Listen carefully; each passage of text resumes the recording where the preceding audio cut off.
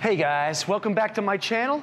Today's gonna be another beginner series. There's gonna be a couple new movements that you maybe haven't seen before.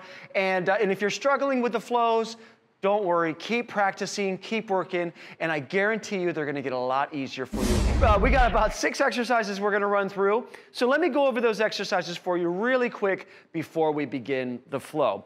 So exercise number one is going to be a kettlebell swing. Kettlebell swing is a hip dominant exercise. And when you're flexing in your hip, the good news is, is that you're working your glutes. Before I begin, I want to think of a triangle, right? My knees are the bottom of the triangle, my hip is the top of the triangle, right? The power, the triangle of power. Okay, we want to take the kettlebell to the top of the triangle, all right? So we're here, we're loaded the hips, top of the triangle, and we snap the hip forward, right? I've got my shoulders engaged, so my shoulders are dropping down.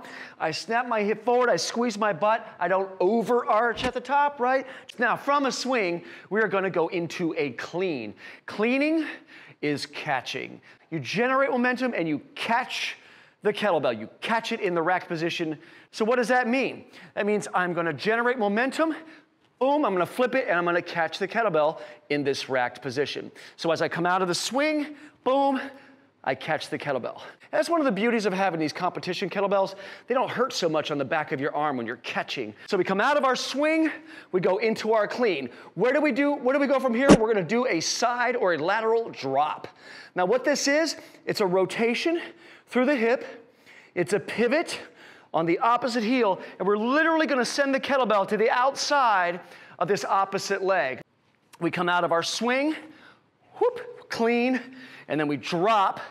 And as we clean it back, right, we're gonna take that leg that we're dropping to the outside and we're gonna step back into this curtsy lunge. You wanna think of taking one leg, sending it behind the front leg, and having that knee drop right behind the ankle or the heel of the front leg, and generally getting it to the outside. And then from here, taking that same leg, we're gonna step out to a side lunge, right? Side lunge, we wanna make sure we're pushing back into the hip, right? So we wanna strike with the ball of the foot, heel hits the floor, hip pushes back. And you are leaning forward into this as you push your hip back. Think of your belly button going toward your thigh, right? So that's our side lunge. So we come out of the curtsy lunge, we go into that side lunge, all while the kettlebell is in that racked position. Press up out of that, swing back to the top of triangle, back to our dead stop, basically where we started, and then we're gonna execute one offset push-up. We're gonna put one hand on the kettlebell, one hand on the floor, and do one push-up. Then we're gonna stand, we're gonna switch hands, do the whole thing again. We have one swing, boom, we clean, bang, we drop, we curtsy lunge, we side lunge, stepping that foot back, we swing, dead stop, hand to the kettlebell, step back, one push up, stand up, switch arms, boom. And we go into the same thing on that other side. All right? So we're gonna go for three minutes. Five, four. Start with our left arm. Let's go. We go swing, clean. Then we're gonna rotate drop, take that right leg. Curtsy lunge, right leg. Side lunge, swing it back, dead stop, hand to the kettlebell, step back, push up. Bang, step up, switch hands. Here we go. Swing, and then we clean, then we rotate to the other side, and we step back into that curtsy, step out into that side lunge, swing it back, dead stop, that's right, left hand down, and we get our push up. Boom. That is it. Let's keep going. Swing. Clean. Rotate. Curtsy. Step out.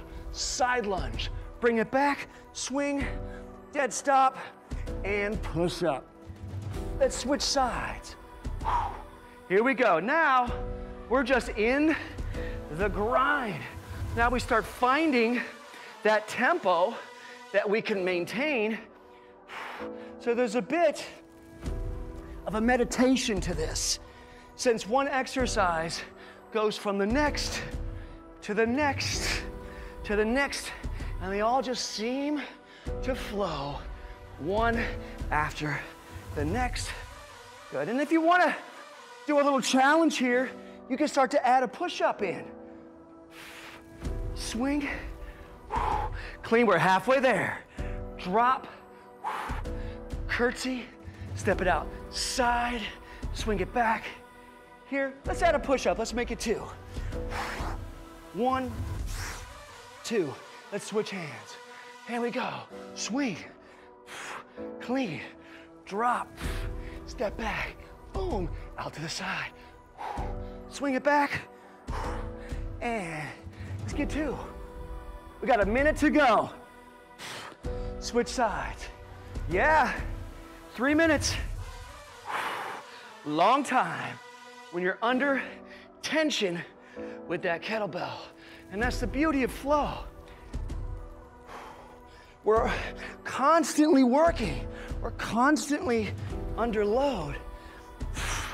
So it definitely has an endurance to it, bit of a conditioning side to it, as well as working strength, not to mention the mental focus.